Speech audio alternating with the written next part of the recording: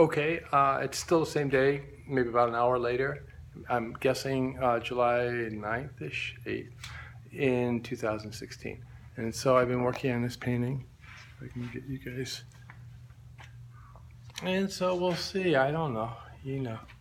Um, I could babble, but I'd like to wait. But uh, I'm thinking of promoting Chicago. So this is like Chicago Beach. And uh, who knows? But I think I'm very smartly, I'm just going to stop. I think in that, you know, just for those who care about the kind of stuff, I'm trying to think. I think I did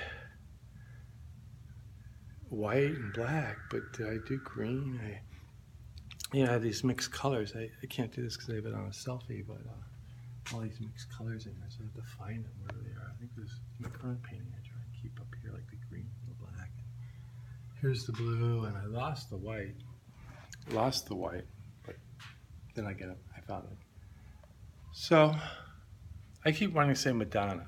So we'll see. Maybe a little name will perk, and it doesn't matter. As I wrote to a friend, uh, you know, it doesn't matter. The name doesn't matter. Luckily, I don't think Mona Lisa, Raja Khan, you know, or it's okay. Um, hope you're good.